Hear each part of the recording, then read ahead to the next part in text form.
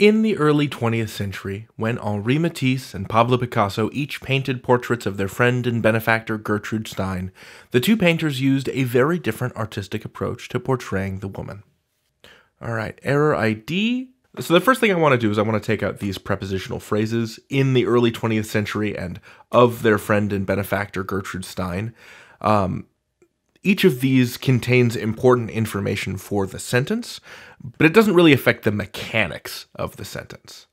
All right, with that out of the way, so now the sentence is When Henri Matisse and Pablo Picasso each painted portraits, the two painters used a very different artistic approach to portraying the woman. Now, this makes less sense with that removed, right? What does the woman refer to? Gertrude Stein. In fact, looking at that, we can just say, okay, the woman, uh, that's the same as Gertrude Stein. Each of these two things is singular. That's fine. We see agreement there. Uh, and let's go back up to the top. So when Henri Matisse and Pablo Picasso each painted portraits, um, and then there is a comma here. So when is being used to set off a dependent clause. When Henri Matisse and Pablo Picasso each painted portraits, comma, the two painters used a very different artistic approach to portraying the woman. This checks out. Uh, a comma is correctly used to separate this dependent clause from this independent clause. The two painters used an approach. Uh, so I'm going to say when isn't an error. Painted, since we know from this part that we crossed off that this takes place in the early 20th century, we've got this takes place in the past. This also takes place in the past tense. Uh, so it matches the time period of the sentence. So painted is correct. So that's not an error. Why don't we just cross off everything else in the sentence now that we've now that we've established that? We've just got this one clause left, this one smaller sentence inside the sentence. The two painters used a very different artistic approach to portraying the woman. Is this an error or is there no error?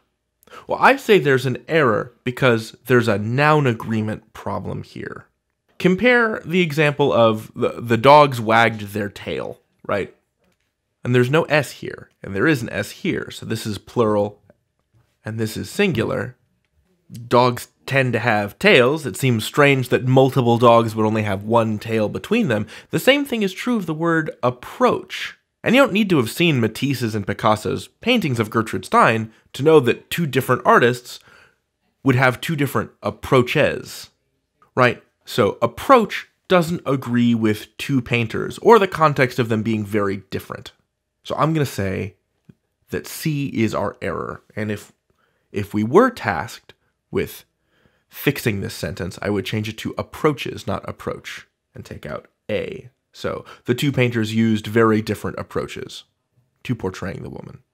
With an underline like this, with an underline like the one we have in option C, you have to pay attention to the other nouns in the sentence. So, does it make sense for multiple painters to each have one approach on separate paintings? Does it make sense for multiple dogs to have a single tail between them?